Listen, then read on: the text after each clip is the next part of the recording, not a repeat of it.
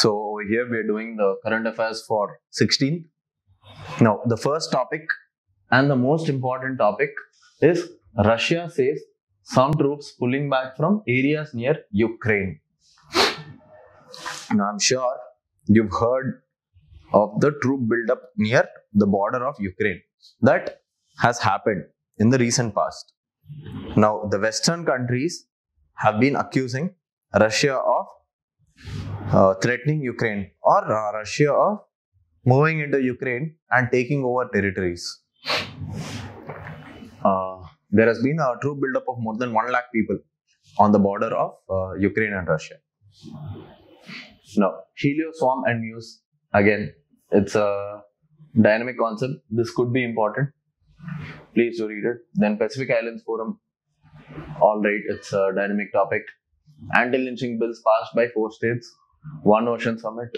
Supreme Court to hear legal tussle over services. This is a very important topic. It has been there in the news for a very long time. Yeah, so most of the topics are actually dynamic, but they're not, you know, say very conceptual. They won't be asked from mains perspective. They'll mostly be asked from prelims perspective. This is the only mains related topic. Russia says some troops are pulling back from areas near Ukraine. Russia said on Tuesday some of its military units were returning to their bases after exercises near Ukraine, following days of warnings that Moscow might invade its neighbor at any time. Now, why are these warnings there? These warnings are there because in 2014, Russia occupied Crimea. Crimea is a very strategically important area. It is majorly Russian speaking people. It is strategically important because it uh, commands the Sea of Azov. Now, there was a troop buildup of an estimated 1,30,000 Russian troops to the north, east, and south of Ukraine earlier. Russia maintains that the troop buildup was a part of its war exercises and not that it wants to conquer it. Now, Russian Defense Ministry spokesperson said that while large scale drills across the country continued, some units of the southern and the western military districts adjacent to Ukraine had completed their exercises and they were returning back. So, this is the justification that has been given by the Russian Defense Ministry. Now, first of all, we have to understand what is the issue between Russia and Ukraine. Why are these things happening? Now, tensions. Be- I am sure you know that before 1991, Ukraine was a part of the erstwhile USSR along with Ukraine, there were other countries also, the five Central Asian republics, uh, Turkmenistan, Kazakhstan, Kyrgyzstan, Turkmenistan, Uzbekistan. They were all a part of the USSR. Latvia, Estonia, Belarus, Lithuania. These were all a part of the USSR. After the USSR split, uh, Ukraine became an independent country. Now, Tensions between Ukraine and Russia, both former Soviet states, escalated in the late 2013 over a trademark political and trade deal with the European Union. So, the U- Ukraine has been trying to move closer to the European Union. They have been making several trade deals with the European Union. They want to join the European Union. However, in the year 2014, the pro-Russian then president Viktor Yanukovych suspended the talks now, when uh, the pro-Russian pres- the pro-Russian president suspended the talks regarding political and trade deals with the EU, there were protests, huge uprisings in Kiev, which is the capital of Ukraine. Now, in March 2014, Russia also annexed Crimea, an autonomous peninsula in southern Ukraine, with strong Russian loyalties. Now, so all these issues you know it is clearly showing the gulf that exists between ukraine and russia. Also pro-russian separatists in ukraine's donetsk and luhansk regions declared their independence from kiev prompting months of heavy fighting. These are regions which are in the eastern part of ukraine. You have ukraine and in the oh here you have Russia. In the eastern part of Ukraine, you have these regions. You also have one more region known as Donbass. Uh, along with that, you have Donetsk and Luhansk. So these are the regions which are being actively supported by Russia so that they can break away from Ukraine. So Russia has been interfering in the internal politics of Ukraine. Despite Kiev and Moscow signing a peace deal in Minsk in 2015, brokered by France and Germany, there have been repeated ceasefire violations. Regarding this, Russia and Ukraine signed a peace deal. But despite that, there have been repeated violations and there is heavy infighting that occurs in this region. Now, current crisis and reasons for the troop buildup. According to Moscow, it sees that it sees that the growing support for Ukraine from NATO in terms of weaponry, training, and personnel as a threat to its own security. Now, Ukraine was also wants to join the NATO. However, NATO works on the principle of collective defense, which means all for one and one for all. If at all Ukraine joins into NATO, then American missiles will be placed in Ukraine. And this presents a security threat to Moscow, Russia, and that is not liked by it. It has also accused of Ukraine of boosting its own troop numbers in preparation for an attempt to retake the Donbas region. The Donbas region is currently under the control of Russian separatists. So Russia believes that Ukraine has been preparing and it has been allying with NATO so that it can retake back this Donbas region. Russian President Putin has also called for legal agreements that would rule out any further NATO expansion eastwards towards Russia's borders, including Georgia and Ukraine, saying that the West has not lived up to its previous verbal assurances. Okay, once the Soviet Union had actually dissolved in 1991, the then uh, US President George Bush Sr. he had given written uh, he had given verbal assurances saying that the NATO will not expand eastwards. However, since then NATO has been expanding eastwards. Okay, and some of the re- they have actually now Lithuania, Latvia, Estonia, all these are a part of NATO. Hmm, However, the region which is closest to Moscow is Ukraine if uh, these re- if this particular country also joins into NATO, then it will be a direct impingement on Russia's security. Another de- uh, demand is that NATO must not hold drills in Eastern Europe, Ukraine, and Georgia without prior approval from Russia. Now, this is a problem. However, the West, what is the West saying? The US and NATO officials have bluntly stated that Russia's proposals are unrealistic. Why will uh, the West or the NATO agree to what the Russia is demanding? They insist that Ukraine and every other country has the right to determine its own foreign policy. Russia cannot act as a as a big brother who's dominating and steering Ukraine's foreign policy. Rather, it has to be an independent policy. They also dismissed the idea of Russia wielding veto power over who gets to become a member of the NATO and pointed out that NATO would not take would not take decisions affecting Eastern Europe without involving the countries concerned. Okay, now what is the NATO? We have discussed this earlier. Now, it was an intergovernmental military alliance. It was established by the Washington Treaty in the year 1949. Now, the headquarters is at Brussels in Belgium. Now, since its founding, the admission of the new member states has increased the alliance from 12 countries initially to about 30 countries now. The latest member was North Macedonia, which is near Greece. Helioswarm and Muse. Dynamic concept, nothing much to explain. Everything is written in the content itself. However, I'll read the important points. NASA has selected two science missions the Multi Slit Solar Explorer and the Helioswarm. So, in MCQs, just say for example, you don't remember any of these things. You don't remember what this concept is about.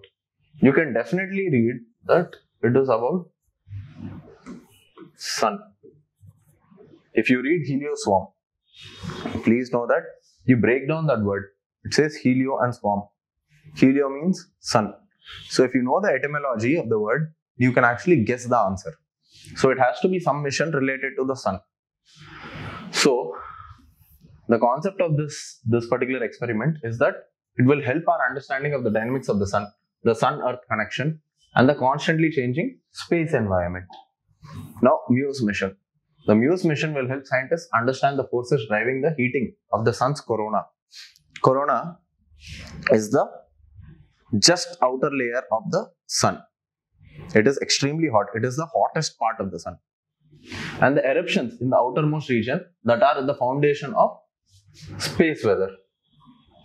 The mission will offer deeper insight into the physics of the solar atmosphere by using a powerful instrument known as multi-slit spectrometer to observe the sun's extreme ultraviolet radiation and obtain the highest resolution images ever captured of the solar transition region and the corona.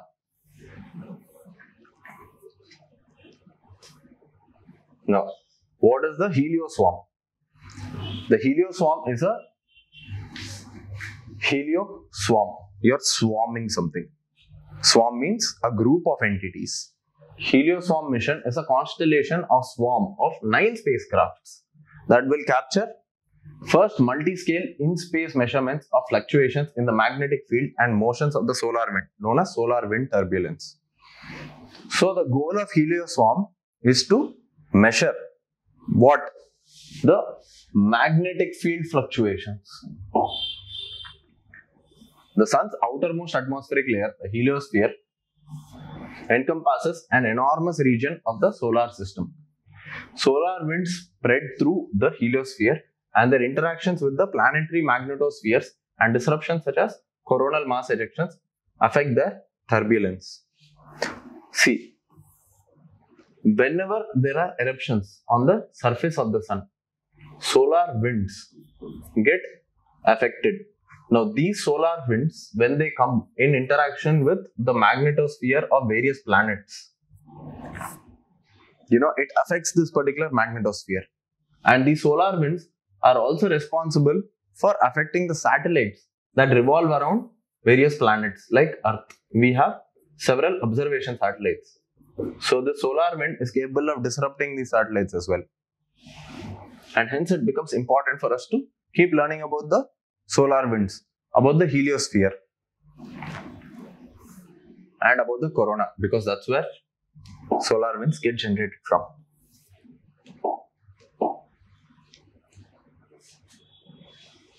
Pacific Islands Forum, very static portion. I mean, it uh, you just have to keep you just have to read it once remember it from prelims perspective what are the pacific islands? Pacific islands are those groups of islands which are there in the pacific ocean. Like tuvalu. Tonga. You can read about micronesia melanesia etc polynesia and all of them. So all those uh, form a part of Pacific Islands. Now, mm, okay,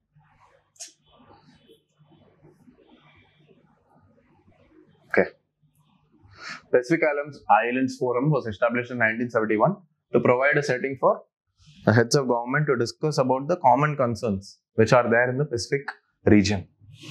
It comprises of 18 members. No need to remember everyone the most important thing that you need to remember regarding the Pacific Islands Forum is that the Biketawa Declaration is a response to regional political instability and which would put forward a set of principles and actions for members to take to promote open, democratic, and clean government. And also, the other declaration that you need to remember is the Boe Declaration of the Pacific Islands Forum, which reaffirmed that climate change remains the single greatest threat to the livelihood, security, and well being of the people of the Pacific. Now, next anti lynching bills passed by four states.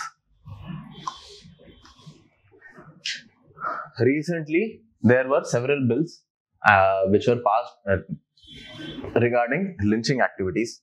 Lynching is nothing but the mob acting in a vigilante manner, taking law and order into its own hands. The bills were passed against lynching in the past four years by four states West Bengal, Rajasthan, Manipur, and Jharkhand. These have not been implemented because the union government says that lynching is not an offense under the Indian Penal Code. and hence how can you pass bills in order to it is uh, how uh, how can you pass bills? Uh, how can you pass acts in order to criminalize lynching? It is for the union to modify the indian penal code and add lynching as, as an offense. Currently the union suggests that you know any acts of mob lynching can be prosecuted under murder sections under the indian penal code. The Union Home Ministry informed the Parliament in 2019 that there was no separate definition for lynching under the IPC and that such incidents can be dealt under sections 300 and 302 of the IPC which pertain to murder. The bills passed by these states have been reserved by the Union government. They have not been implemented hence. Okay. Now, what is mob lynching? As we discussed, any acts of violence, whether spontaneous or planned by a mob on the ground of religion, race, caste, sex, place of birth, anything, by taking law and order into their own hands. Okay, it is known as mob lynching. The Supreme Court had asked the Parliament to make lynching as a separate offense in 2018. The Supreme Court has also given several guidelines on mob lynching. Okay. What are the Supreme Court guidelines? We shall read only the most important. I have given uh, very few important guidelines over here, only about six to seven points. However, the most important one would be this mob lynching. It shall be treated as a separate offense. And the trial courts must ordinarily award maximum sentence upon conviction of the accused person to set a stern example. So, this is what the Supreme Court has suggested that it should be treated as a separate offense and you need to give maximum sentence of say life imprisonment in order to set a stern example. State governments will have to designate a senior police officer in charge of mob violence and lynching. He is the one who has to take care of prevention of these incidents from happening. State governments need to identify district subdivisions where instances of lynching have been reported and it is needed to prevent lynchings from happening over there frequently again. Also, the center and the state shall broadcast on TV and radio about the serious consequences of mob lynching.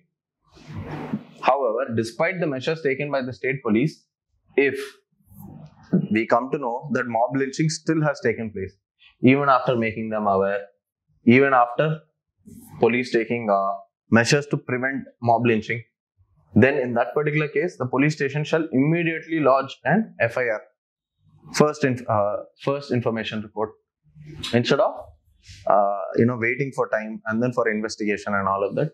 You immediately file an FIR, take uh, take up investigation, file the charge sheet, and ensure that the person is prosecuted. Okay, next.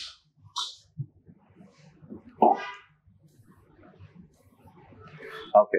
If the police officer in the district administration fails to take up a case of mob lynching, then it shall be taken up as an act of deliberate negligence, and even the police officer will be prosecuted in this case.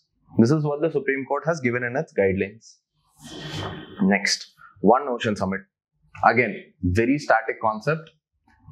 Uh, the One Ocean Summit was recently organized by France. Uh, the concept of the summit is to ensure that there is uh, sustainable usage of oceanic resources. Now, the entire conference was organized in cooperation with United Nations and the World Bank. Prime Minister Modi had also given a speech during the summit. The goal of the One Ocean Summit is to raise collective level of ambition of the international community on maritime issues and take tangible action towards preserving and supporting healthy and sustainable ocean ecosystems. This is the idea of One Ocean Summit. Now, United Nations has designated that the decade between 2021 and 2030 as the decade of ocean science for sustainable development. Why is the United Nations? United Nations actually declares the various decades uh, for various initiatives. This is to create awareness regarding these initiatives and draw more people into preserving uh, the earth.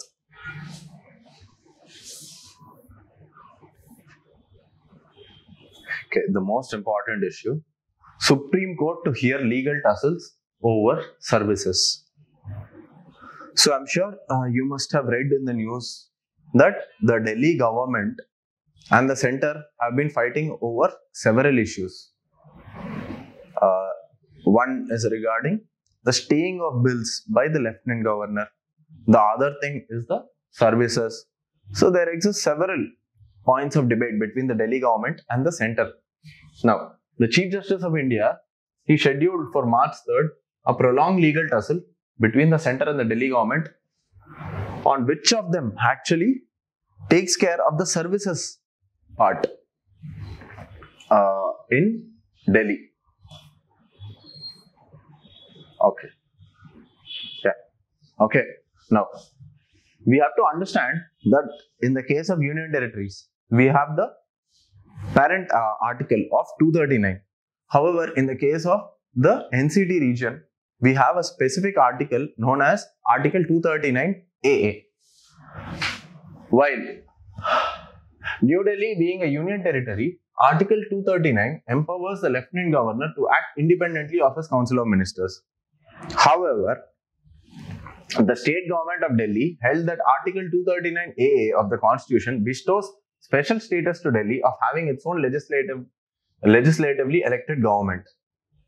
So, because they have varying interpretations of uh, the status of Delhi, it creates a tussle around the administrative powers of the Lieutenant Governor and the state government of NCT of Delhi.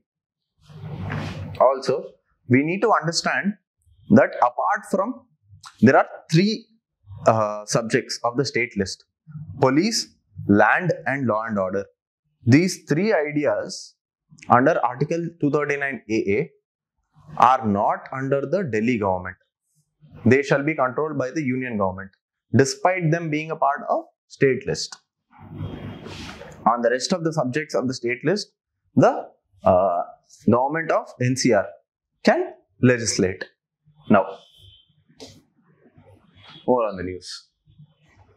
The reference to a larger bench dates back to February 14, 2019, when a division bench of Justices A.K. Sikri and Ashok Bhushan gave a split opinion on the question of control regarding services.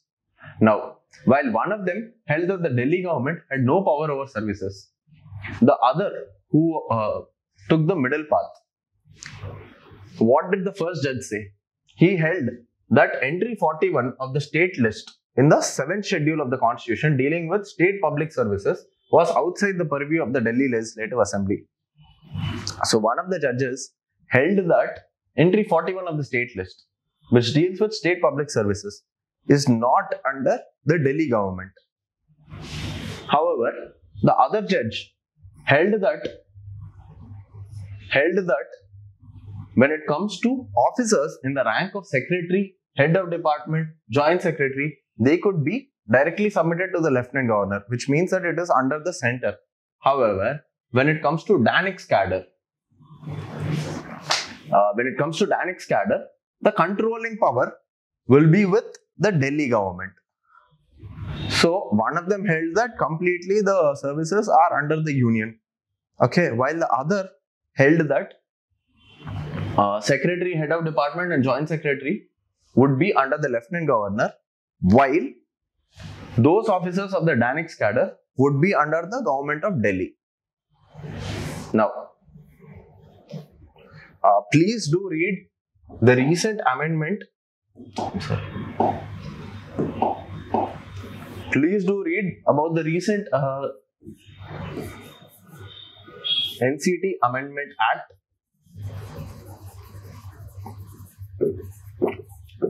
Which actually reduce the powers of the Delhi government and which increase the powers of the union government in Delhi. Now, Phensedyl smuggling is a challenge for BSF. Okay. Now, it's a very prelims oriented topic. You can also use one point in mains. Despite the drop in cattle smuggling and other narcotics, Phensedyl, a codeine based cough syrup, remains a challenge for border guarding forces along India Bangladesh border. India and Bangladesh have a very large border, about 4,000 kilometers. It is the largest border that India shares with any of its neighboring countries. Largest, even larger than Myanmar or even larger than Pakistan. China. So India Bangladesh border is the largest border. Now, why does this smuggling happen? A cough syrup bottle costs about 200 rupees in India, but it fetches a lot more money in Bangladesh as, as cough syrup with codeine phosphate are an easy way for people to get high. Hence, it is in demand over there. It is not in demand over here in India because we have other means of getting high. However, in the case of Bangladesh, because alcohol is banned, uh, codeine phosphate, uh, Phensedyl, uh, cough syrup bottles are in huge demand. Now, Phensedyl is smuggled in low quantities from India to Bangladesh and it is smuggled in different different ways by different people. When it is smuggled in small quantities, it becomes very difficult to pinpoint and stop it from happening. Along with Phensedyl, other narcotic that is smuggled in huge quantities is the yaba tablets. Now, this yaba tablet is a mixture of methamphetamine and caffeine. It is sold as cheap red or pink pills and it works as a stimulant for the central nervous system. Okay, now these yaba tablets are actually originating in Myanmar and they are transmitted to Bangladesh through India. The first thing that we need to know is that we have two drug uh, drug producing areas. One is known as the Golden Triangle and the other one is known as the Golden Crescent, which border India.